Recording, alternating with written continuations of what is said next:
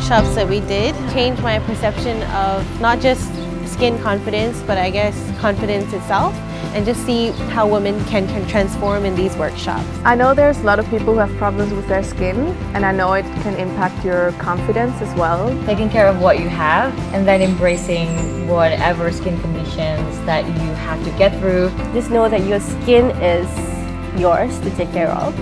So be confident that you have good skin or if you don't have bad skin, be confident that you, there are ways to take care of your skin.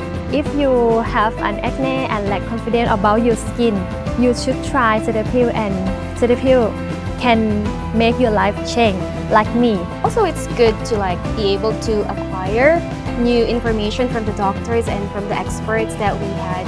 As doctors, we don't only treat the skin diseases, but we also educate our patients.